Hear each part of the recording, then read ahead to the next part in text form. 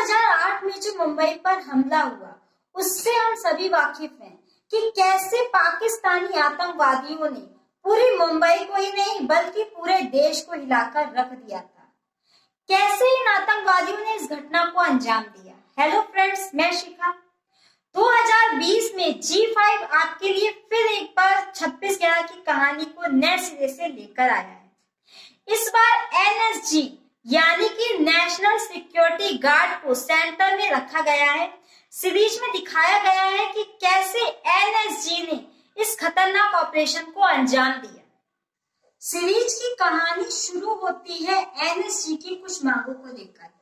NSG का कहना है कि उन्हें अच्छी सुविधाएँ चाहिए, जिससे वो अपनी प्रैक्टिस और बेहतर कर सके। इस वेब सीरीज़ में ये भी दिखाया गया है कि कसाब आतंकवादी कैसे बना।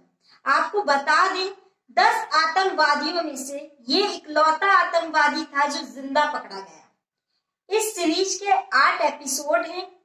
सीरीज़ 20 मार्च को जी फाइव पर रिलीज़ हो चुकी है। ये सीरीज़ मीडिया पर भी सवाल खड़े करती है कि कैसे मीडिया की लापरवाही ने कहीं ना कहीं इन आतंकवादियों को फ़ायदा पहुँचा है सीरीज़ में आपको ये भी देखने को मिलेगा कि कैसे पाकिस्तान में बैठे आतंकवादियों के बॉस लाइव टीवी देखकर इन आतंकवादियों को इसकी जानकारी देते हैं और वो अपनी चालें बदलते रहते हैं।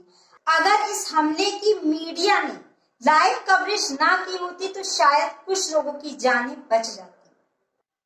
यह सीरीज़ हमारे सिस्टम पर भी सवाल खड़े करती है कि कैसे इतना बड़ा हमला होने के बाद भी हमारे नेता लेट लतीफी करते रहे और एनएसजी को दिल्ली से मुंबई आने में देर होती रही सीरीज़ की कहानी संदीप उन्नीथन की लिखी हुई किताब ब्लैक टोर्नेडो पर आधारित है।